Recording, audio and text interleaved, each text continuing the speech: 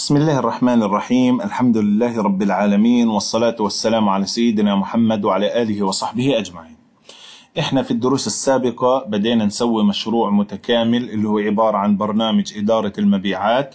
طبعا آه، الفكرة مش فكرة إدارة المبيعات بقدر ما إنها فكرة المشروع المتكامل.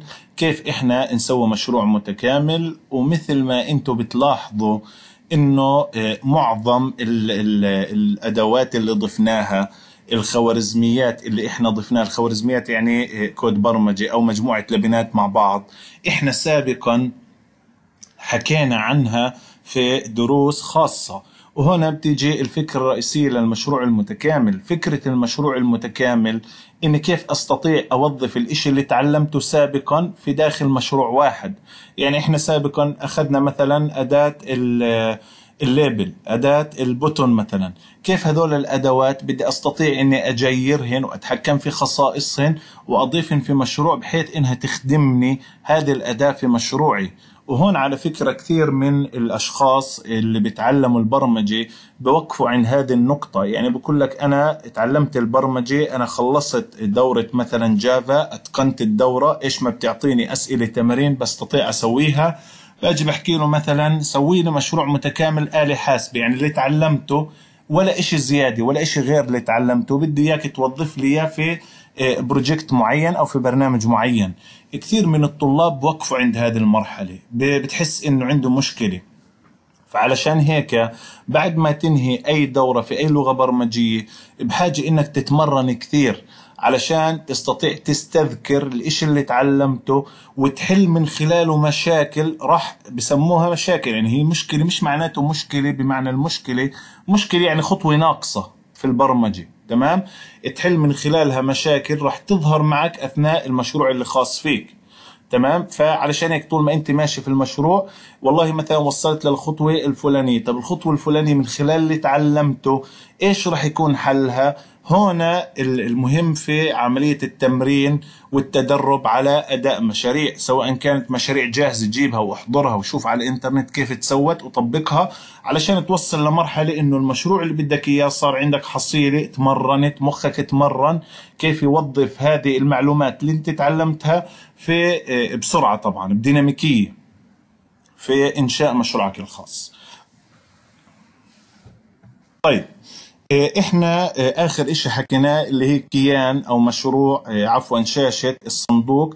طبعا يعني تقريبا برمجناها بنسبة 95 خلينا نقول 90% في هذا الدرس رح ننتقل لشاشة الزبائن. طبعا ليش الزبائن تحديدا؟ لأنه حكيت لكم أنا بدي أبلش من تحت لفوق. يعني الشاشات الرئيسية ثم الشاشات اللي رح تنبنى على الشاشات الرئيسية.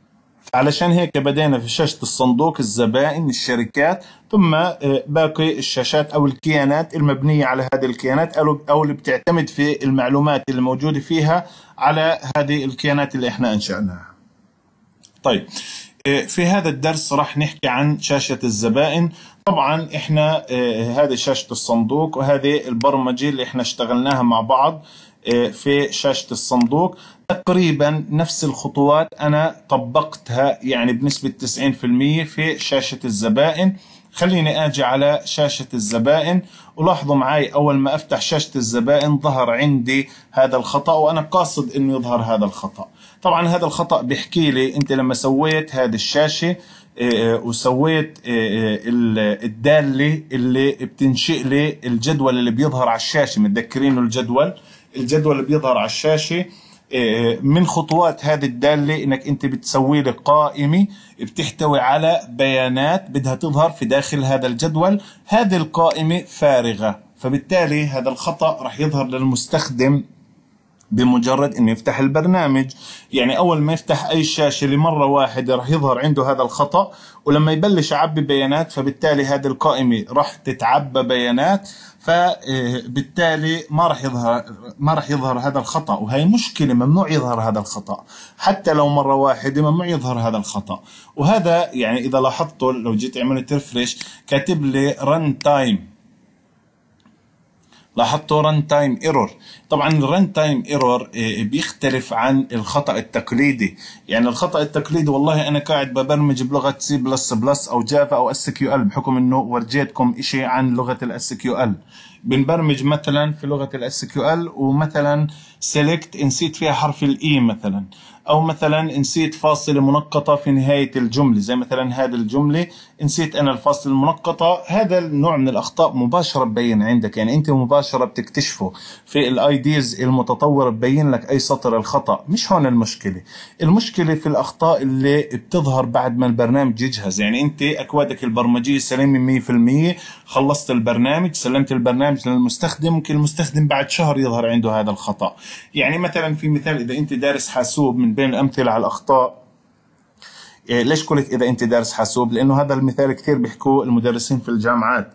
إنه مثلا أنت سويت آلة حاسبة. طيب إيه كل شيء برمجته 100% سلمت البرنامج للمستخدم كل شيء تمام. اجى مستخدم بده يقسم 10 تقسيم صفر. الآن العشرة معروف إنها رقم وأنت معرف هذا المكان في الذاكرة كإنتجر كرقم. القسمه ال operator القسمه أنت معرفها 100% ما فيها اياتها مشكلة.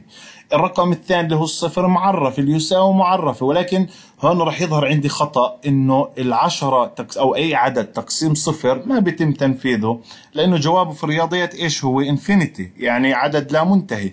فعلشان هيك البرنامج راح يعلق مع المستخدم ممكن يسكر البرنامج ممكن يعطيه error فراح المستخدم يتضايق من هذه الحركة. فبالتالي أنت لما تسوي برنامجك لازم أنت تجربه. وتضلك تجرب فيه وتعطيه لناس يجربوه. وممكن زي ما بتعمل كثير من الشركات تنزلوا نسخة تجريبية علشان زي مثلا ما عملت المايكروسوفت مع ال Windows 10 في ال Windows 10 نزلت نسخة تجريبية وهذه النسخة التجريبية المستخدمين جربوها. وظهرت فيه أخطاء كثير يعني إذا أنتم نزلتوا Windows 10 إيه، لاحظتوا إنه في كثير أخطاء. حتى إنه يعني Windows 10 ليش حكيت؟ لأنه اللي سوى Windows 10 اللي هي شركة المايكروسوفت المعروفة يعني عملاقة البرمجة. بالرغم من هيك بتوقع في أخطاء. حتى في بعض إيه، أنظمة التشغيل مثل Vista مثلا.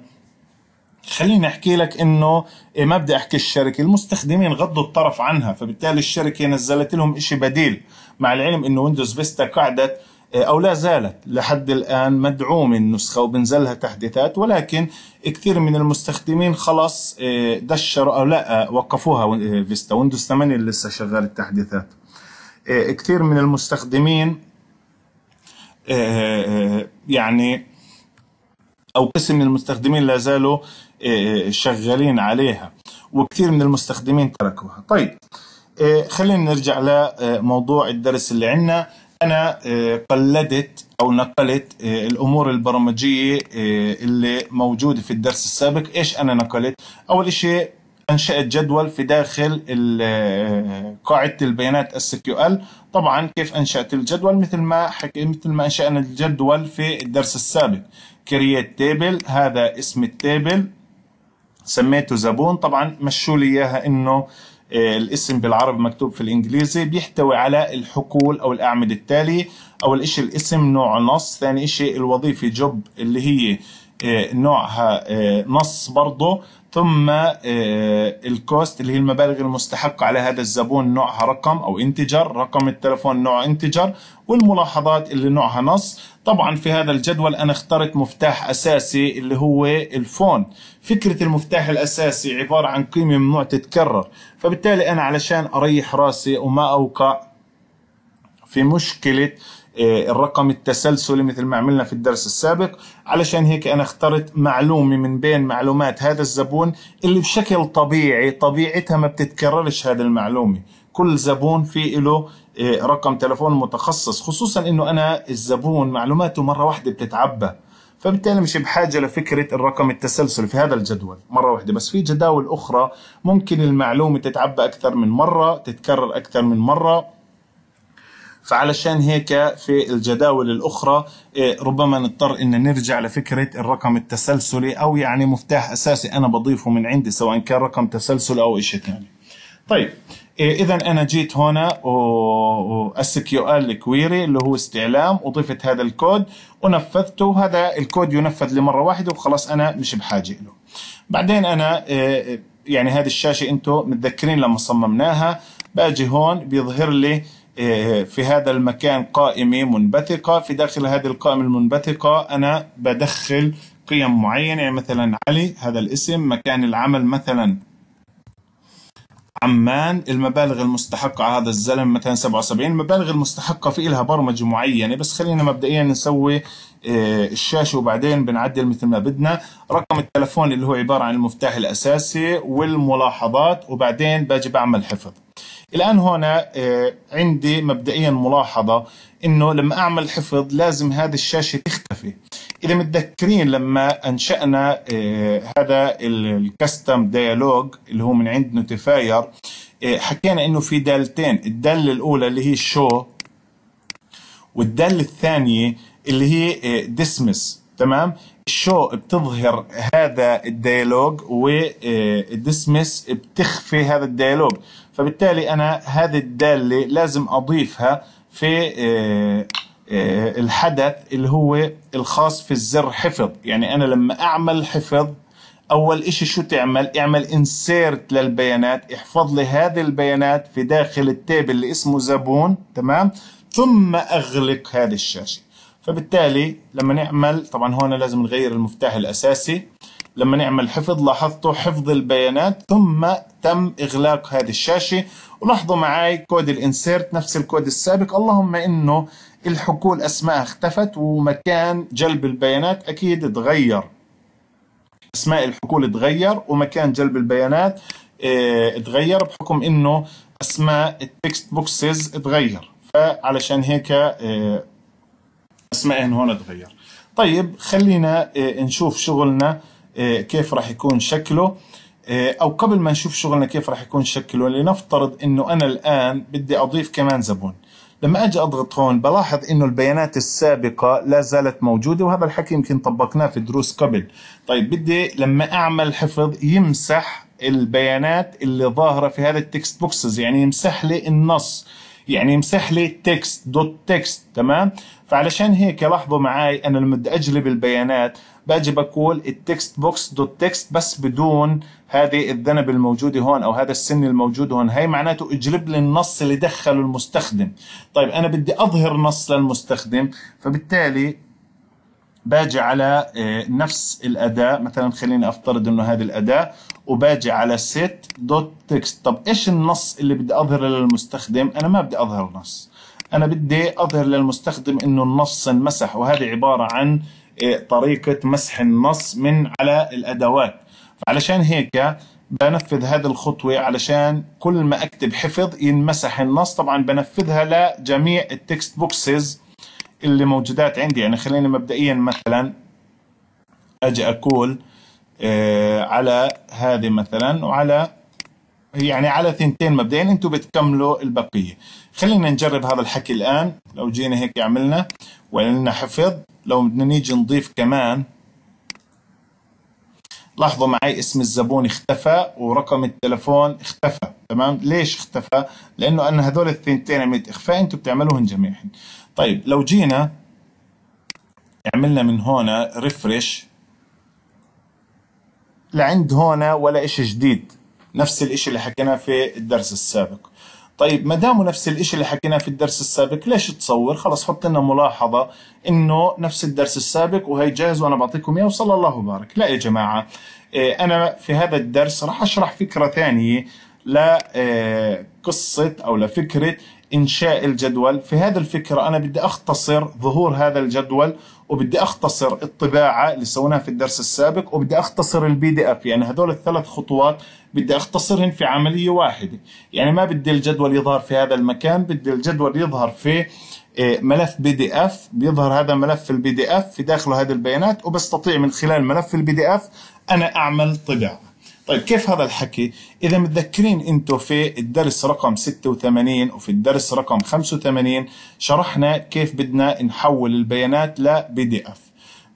راح أركز إيه على الدرس رقم 86 تمام فإذا أنت مش حاضر الدرس رقم 86 ضروري إنك تحضره لأنك ما راح تفهم الخطوات اللي بدي أطبقها الآن بدون ما إنك تحضره تمام؟ ما راح أشرح هذا الحكي راح أكمل عليه راح أجيب هذه اللبنات اللي جاهزة وأكمل عليها وأعدل فيها علشان تخدمني في هذا المشروع اللي أنا شغال عليه أو خليني أحكي في هذا الكيان اللي أنا قاعد ببرمج فيه.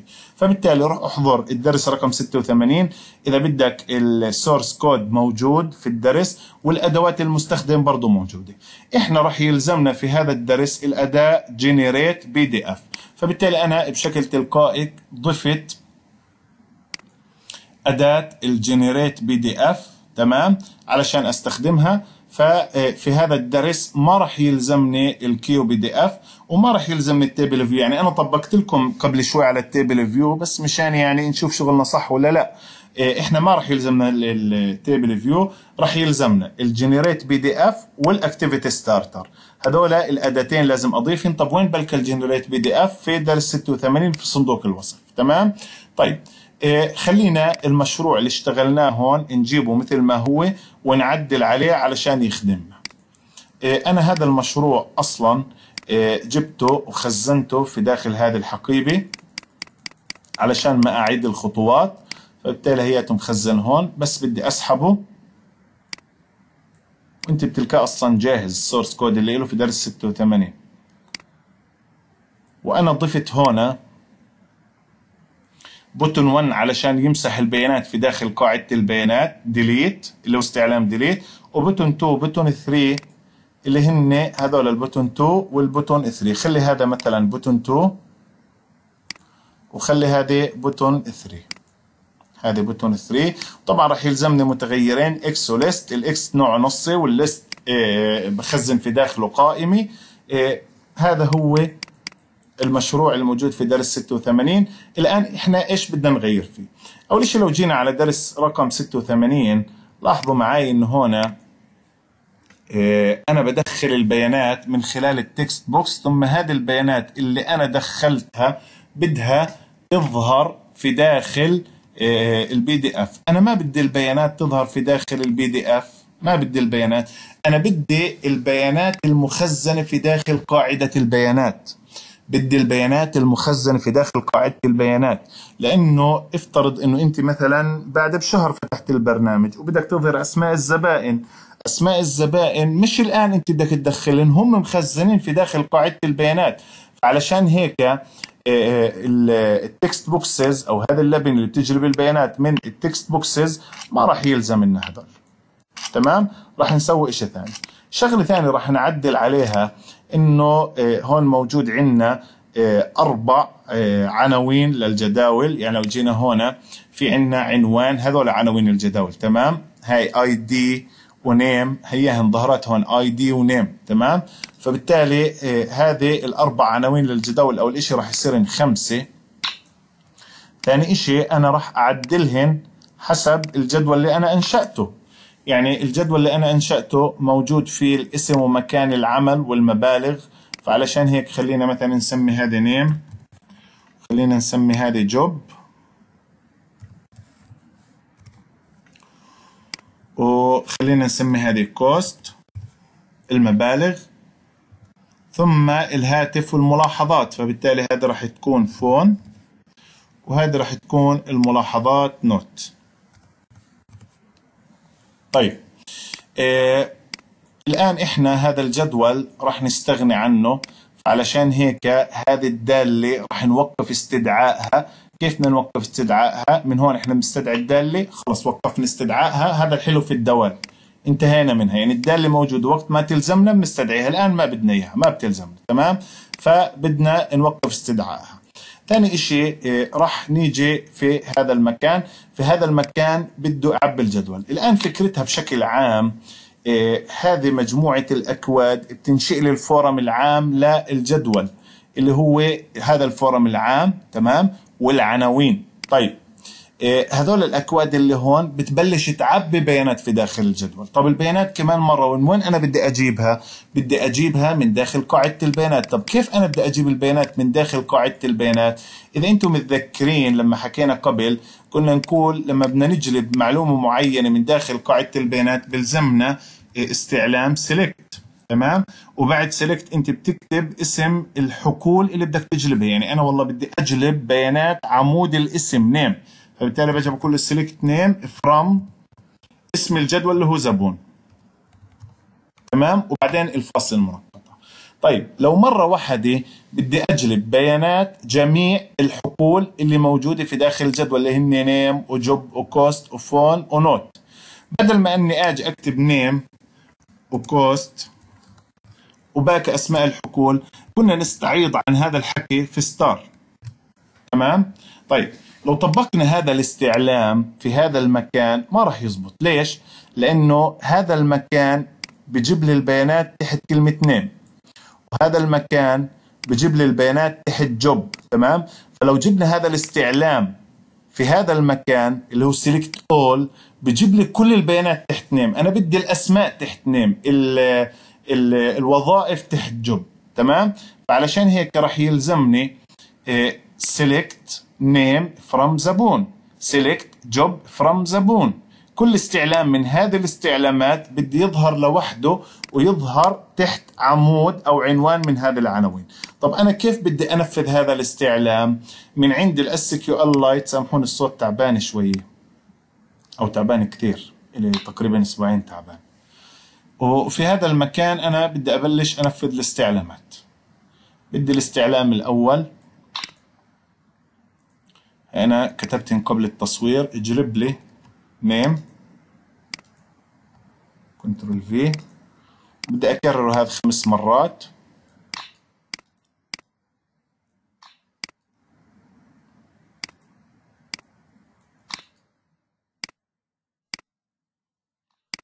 اللهم إنه كل مرة بنغير جملة الاستعلام. استعلام قصدي فيه هذا الكود البرمجي اسمه استعلام في اس أو query.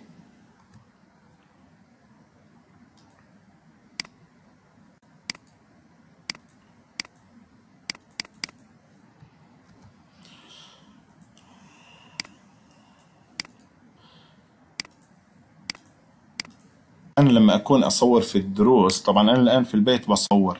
يعني هاي الساعة أربعة وعشرة صباحا. بس بشكل عام الدرسين أو الثلاث السابقات أنا كنت أصورهن في الوظيفة. كنت أصورهن في إيه، أوقات الفراغ أو في البريكات. عشان هيك بعرفش إذا حدا فيكم لاحظ إنه إيه، بكون مثلا شغال بفكرة مرة واحدة بدخل على فكرة ثانية لأنه خلص ال break بوقف التسجيل بكمل شغلي اجى break ثاني بصور كمان شوي. بس هذا الدرس مرة واحدة يعني أنا صورته. طيب. هاي عملنا هون select name from زبون select job select cost لعند هذا الحكي. الآن بدنا نشوف هذا الحكي بزبط معانا لعند هون ولا ما بزبط. تمام؟ إيه خليني بس أتفقد هون طيب تمام الشغل هون. خليني أشوف بزبط معاي ولا ما بزبط. نيجي هون أول إشي نعمل مسح للبيانات في داخل قاعدة البيانات. طبعا بدي أورجيكم أنا إيه، استعلام مسح البيانات. خليني أصغر هون. هذا هو اللي هو ال SQLite delete اسم الجدول وهنا تعني all يعني احذف لي كل شيء بدون شرط. ما قلتلوش مثلا احذف لي البيانات اللي في عمود name مثلا احذف لي البيانات آه، للي اسمه محمد احذف لي البيانات للي رقم تلفونه هالكده تمام؟ هذاك آه، شروط أنا ما بلزمنا شروط. طيب لو جينا هنا عملنا ريفرش طبعا راح يظهر عندي الخطأ.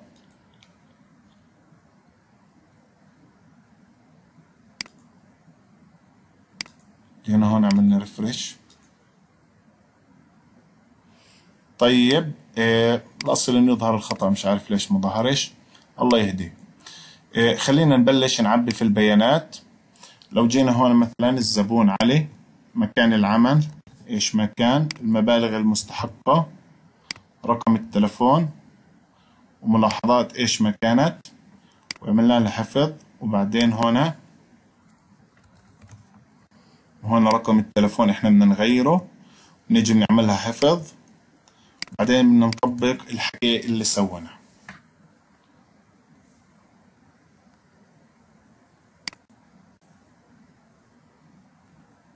هاي تنزيل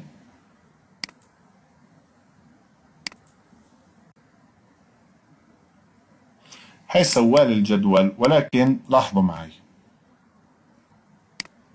إنه أول مشكلة بيظهر عنوان الجدول نيم تظهر هون. job بتظهر هون. هذا المشكلة أتوقع إنكم أنتم عارفين شو حلها. cost بتظهر هون. المشكلة الثانية إنه البيانات بجانب جنب بعض يعني علي وأمين أجن جنب name ما أجينش تحت name طيب خلينا نبلش نحل فيه المشكلة مشكلة. ولاحظوا برضو مشكلة ثانية هذه الفاصلة برضو بتظهر عندي. بنبلش نحل فيه المشكلة مشكلة. المشكلة الأولى اللي هي أنا بدي كل قيمة تظهر على سطر. طيب هذه المشكلة من وين بدي أحلها؟ لو جينا آه، في هذا المكان اللي هو عند آه، تنفيذ ال generate PDF. في هذا المكان وبدنا من عند هون فافشك لي سطر آه، في طريقة أبسط أو في طريقة أحسن لأنه هون بدنا ننفذ شوية خطوات. لو جينا عند استعلام insert استعلام insert اللي هو لما أدخل المعلومة دخل لي إياها وفشك بعدها سطر تمام؟ لما أدخل النيم دخل لي إياها وفشك بعدها سطر. طبعا يا جماعة آه، في أكثر من طريقة. يعني أنا وأنا قاعد بحضر للفيديو جربت أكثر من طريقة وزبطن خمسة ستة سبع طرق. آه، بس حسيت إنه الطريقة اللي بدي أسويها الآن آه، هي الطريقة اللي بتلبي لي الإشي اللي بدي إياه. يعني راح نحكي أحاول قدر الإمكان أحكي لكم طرق في خلال الدروس. وإنت ربما توجد طريقة أفضل من طريقتي وأخف على الذاكرة من طريقتي. تمام؟ إيه، في النهاية يا جماعة دائما بنحكي. في النهاية المخرجات ممكن عشرة يسووا نفس المخرجات. بس واحد فيهم ينقبل مشروعه لأنه خطواته أفضل من خطوات التسعة الآخرين وأخف على الذاكرة. تمام؟ إيه، خليني آجي عند كل خطوة من هذول الخطوات أفشك سطر. طيب كيف يعني أفشك سطر؟ هاي slash n. slash n معناها فشك لي سطر. تمام؟ فعلشان هيك بنيجي هاي من كله. لما أدخل ال name فشك سطر بعدها. ولما أدخل ال job فشك لي سطر بعدها. قلت لكم أنت جرب من خلال آه، كود ال عفوا من خلال كود ال select اللي هو عند button 2 و button 3 وشوف إذا بزبط معك ولا لا. وخلينا نيجي هون نحكي له امسح لي البيانات. هذه ال button 1 اللي هي امسح لي البيانات في داخل قاعدة البيانات.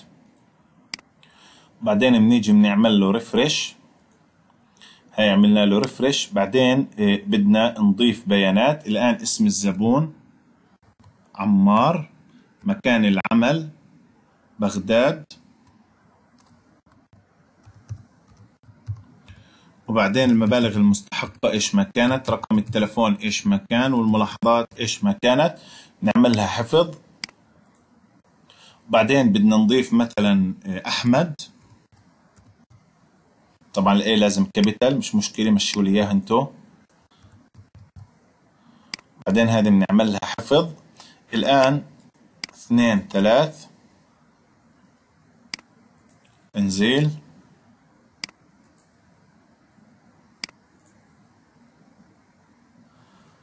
لاحظوا معاي إنه يعني جزئيا جزئيا انحلت المشكلة جزئيا. يعني هاي جاب عندي أحمد وعمار. الشكل السطر هاي name هي اعتبرها بدنا نحذفها. لكن يا جماعة انتبهوا هون عندي الرقم ما فشك سطر. طب ليش يعني؟ ليش phone و cost ما فشكش سطر؟ ليش phone و cost ما فشك السطر وعندي ال note هاي فشك السطر لاحظوا معاي أو خلينا نتذكر إنه إحنا ال text box اللي بدنا ندخل فيه ال cost جينا هنا. حكينا له نوع البيانات المدخلة رقم تمام؟ بس في هذا المكان حكينا له normal طبيعي. طبعا normal يعني أي قيمة أو ممكن نختاره من نوع نص. بس إحنا خلص خليناه normal طيب هذه المشكلة إيش حلها؟ خلينا نجرب نحلها من هذا المكان. الآن أجل لي بس هذه فكرة آه، آه، السطر الخاص يعني آه، تفشيك سطر إحنا بنحكيها بالعامية الخاص في قيم الأرقام. وخلينا نيجي هون كلمة job وكلمة name وكلمة cost بدنا نحذفهن. إذا متذكرين كيف كنا نحذفهن؟ كنا نيجي على من عند التكست على replace all replace all text تمام؟ وين بنضيف replace all هون. هون بنضيف يا جماعة. أوعكم. هذه replace all من هذا النص. طب هذا النص عبارة عن استعلام زي ما هو لازم يدخل. الآن جواب الاستعلام بده يكون هون. القيم العمود الخاص يعني العمود اللي بيظهر هون هذه القيم تمام؟ بتكون هون موجودة. فبالتالي ال replace all بدها تكون موجودة تمام؟ replace all text الآن هون أول عمود شو بدي أحذف منه؟ عفوا. أول عمود أنا إيش بدي أحذف منه؟ بدي أحذف منه كلمة name فبالتالي وين ما في كلمة name احذفها. فاضي يعني احذفها. هاي name عشان أختصر عليكم وقت بدي أوقف التسجيل وأضيف هنا job هنا أسماء يعني آه، بعد name لازم أضيف job واللي بعدها cost واللي بعدها phone واللي بعدها note وبرجع لكم. طبعا هيك شكلهن امسح لي name امسح لي جوب وكوست وفون ونوت. إيه خلينا نيجي هنا نمسح البيانات في داخل قاعدة البيانات وندخلها كمان مرة. خلينا نيجي هون مثلا عمر مكان العمل إيه عمان المبالغ المستحقة رقم التلفون الملاحظات نعملها حفظ. أمير. نضيف رقم تلفون ثاني نعملها حفظ. بعدين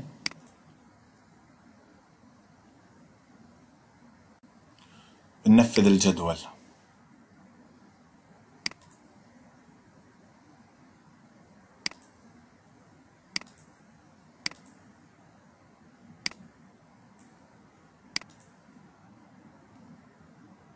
لاحظوا معاي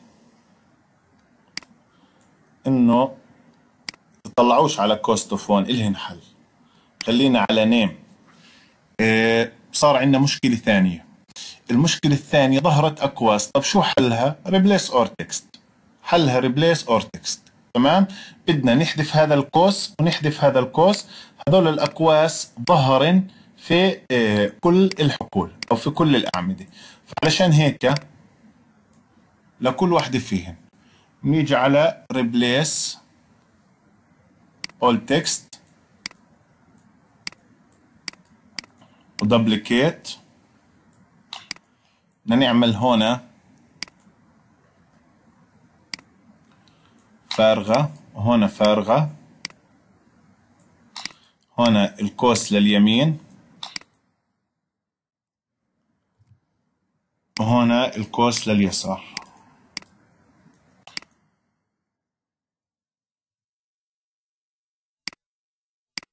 نعمل هذا دوبليكيت مشان الثانية. الآن هذه الأولى نضيفها هون. نيجي هيك.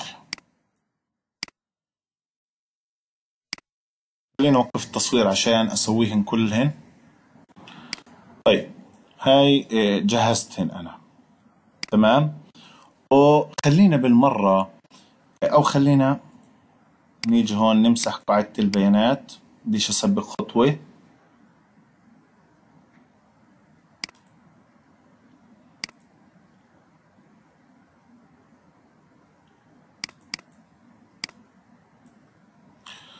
ما ظهرت البيانات. خليني أشوف إيش المشكلة. آه عرفت إيش هي المشكلة. المشكلة إني أنا مسحت قاعدة البيانات. فبالتالي بدي أعبي بيانات علشان تظهر. إيه يا جماعة بس بدي أحكي لكم شغلة. أنا في هذا الدرس ما بدي أعلمكم كيف تتعاملوا مع هذه الأداة اللي هي Generate PDF في النهاية هذه الأداة إلها طريقة. اللي سواها بقول في هذا المكان بتضيف text boxes بتحول لنا جدول. اللي سواه هيك بيعمل. أنا بدي إياك تمشي مع المشكلة خطوة بخطوة تحلها. يعني أنا ما بدي إياك تتعود تتعلم لي على هذه الأداة في النهاية بكرة بتيجي أداة أحسن منها أو في الإنترنت بتلقى أداة أحسن منها وانت لما تتعلم ال Java بتسوي أنت أداة أحسن منها. تمام؟ الفكرة إني أنا بدي أعودك إذا لقيت مشكلة كيف تتدرج في حلها وكيف والله شفنا مشكلة آه ما هي في مثلا لبنة بتحل هذه المشكلة تمام؟ فبقعد أنا أدور لحل المشاكل. فكرة المشروع كلها إني أنا أحل مشكلة. يعني في النهاية أنا بعطيكم اللي بسوي المشروع شو بدك AIA احكي لي مشروع أنا بسوي لك إياه بودي لك إياه AIA هذا مش الهدف من الدورة. عن جد بحكي بدك أي مشروع بودي لك إياه AIA وأنا ببقى مش مبسوط ومش راضي. لأنه هي مش فكرة الدورة. فكرة الدورة إنه أنت تفكر في المشكلة وتحل المشاكل خطوة بخطوة. تمام؟ أنا علشان هيك مطور روحي يعني صار لنا 35 دقيقة بنصور مطور روحي لأنه أنا بدي أنا وياكم مع بعض. يعني أنا هذا مسويه مجهزه موجود عندي وجاهز. بس أنا بدي إياك أنا وياك نمشي خطوة بخطوة. كل مشكلة بتظهر ونفكر كيف بدنا نحلها. وأنت فكر معي وتمشيش على طريقتي لأنه في طريقة ثانية. أنا هذه المشكلة اللي هون في ست أو سبع طرق حليتها. فأنت فكر وطرق مش من الطرق اللي ما أخذناهاش. طرق أخذناها بنعرفها. أدوات لبنات نعرفها. طيب لو جينا هنا بدنا نضيف هنا بيانات. خلينا على السريع نضيف بيانات. مشوا لي اياها انها سمول مش مشكلة لازم capital هنا نعمل حفظ. هون نضيف كمان عمود. وهنا رقم تلفون آخر. نعمل له حفظ ننشئ الجدول.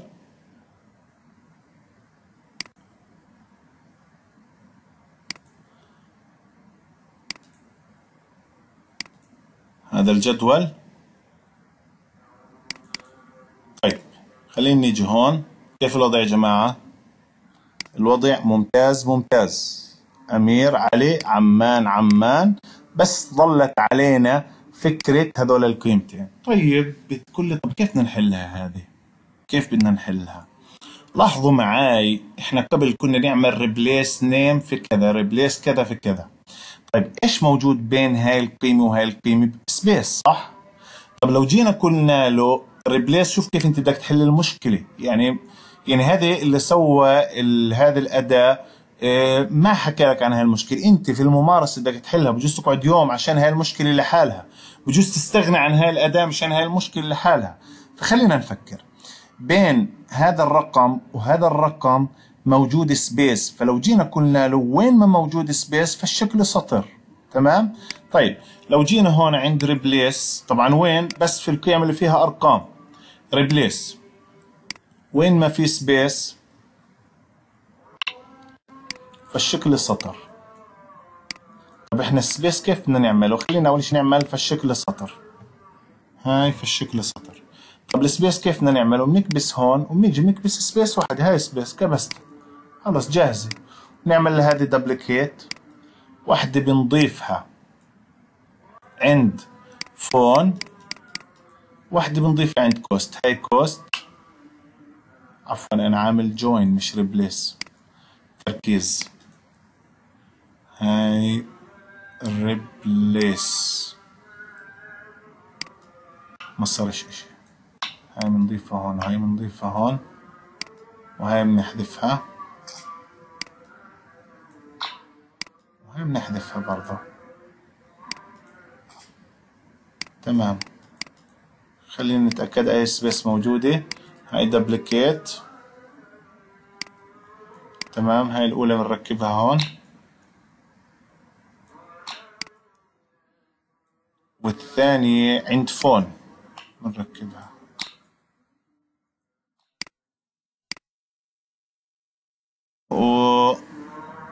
وجاهزين أو يعني مش جاهزين إن شاء الله إنها انحلت هذه المشكلة. بعد الأذان لأنه بأذن بكمل.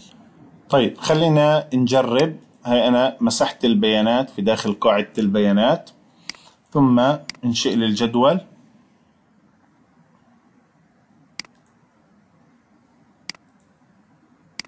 تنزيل.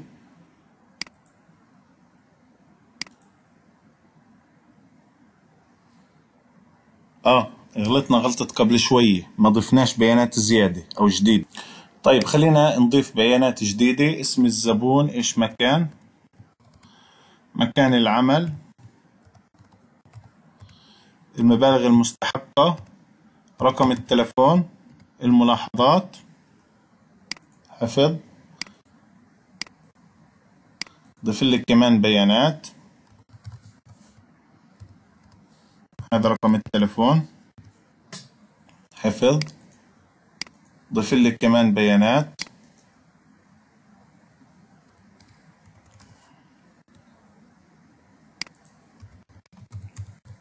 هاي حفظ.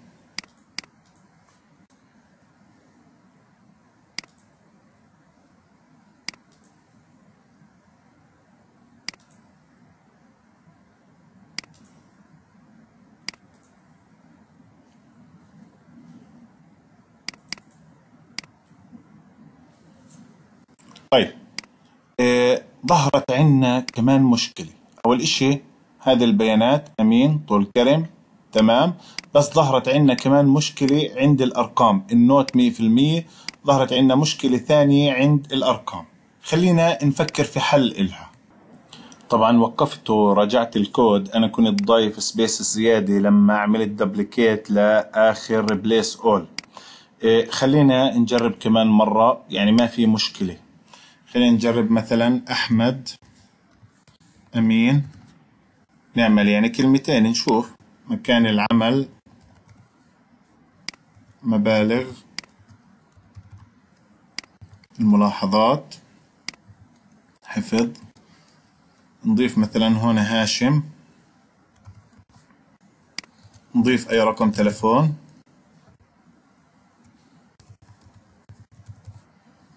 نعمل حفظ. نعمل هذول الخطوتين.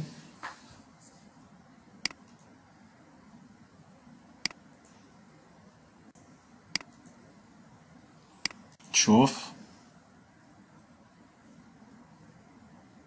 تمام. لاحظوا معي مية في المية الشغل. طبعا آه، لو جيت على هذه الأداة اللي هي generate PDF بتلاحظ إنه هون ما في إلها خصائص فبالتالي مش زي الجدول ما بتستطيع تتحكم في اللون وباقي الأمور. آه، آخر نقطتين بس يعني بحكم الشيء بالشيء يذكر إنه آه، أنا كنت حاكي لكم في شغلة آه، بدي أعدلها اللي هو الخطأ اللي كان يظهر. طبعا الخطأ اللي كان يظهر في داخل هذه الخوارزمية حكينا إنه بتكون هذه ال list بتكون فارغة فبالتالي حل هذه المشكلة بنيجي بنقول له if وبعدين ال list إذا كانت فارغة اللي هي is empty list any list اللي هي ال list اللي اسمها table إذا كانت هذه فارغة هون then مثلا set label 1 dot text ولا إشي. else نفذ لي الخطوات. هذه النقطة الأولى اللي كنت بدي أحكي لكم عنها. إيه، النقطة الثانية اللي بدي أحكي لكم عنها هي مش نقطة يعني هي إجراء سريع اللي هو إيه، أنا بدي أسوي بدل هذول الزرين بدي أجيب إيه، دالتين two procedures. هاي procedure وهاي procedure ثاني. procedure الأول بنحكي عنه A مثلا procedure الثاني بنحكي عنه B. تمام؟ أكبر عشان أنا بعرف إنه في كثير منكم بحضر على الجوال. هاي procedure الآن بس المشكلة الدالة كبيرة كثير فبالتالي بدنا نضيفها كلها في داخل هذا ال procedure تمام؟ وهذه الدالة بنضيفها كلها في داخل هذا ال procedure راح نضطر في هذا الحكي أو يعني راح نريح حالنا مش نضطر راح نريح حالنا في هذا الحكي من واحد من ال buttons. طبعا هاي ال label بطلت تلزم خليها invisible تمام؟ إيه، ال button 1 اللي هو delete database بدك تخليه خليه بدك تقيمه قيمه براحتك. هذا ال button اللي هو create إيه، أو أنت زي ما عملنا في الدرس السابق create PDF and print أو بدك print في الطريقة السابقة بس هو من خلال PDF أنت بتعمل print تمام؟ هذا create PDF وفي داخل هذا الزر إحنا بنضيف ال two procedures اللي هن خليني أكبر لكم هون. خلاص بنضيف نستدعي A بنستدعي B. بصير لما أضغط على هذا ال button اللي هو button 2 ينفذ لي هذول الخطوتين مع بعضهن. بدل ما إنه إيه، تضلك تكبس على كبستين ومش عارف المستخدم ليش بيضغطهم يعطيكم ألف عافية وآسف إني طولت بس أنا إيه، بحب أدخل في التفاصيل وأحس حالي إنه أنا إيه، أو أحسسك إنه وقفنا عند هاي النقطة ويلا خلينا نحلها. يعطيكم ألف عافية.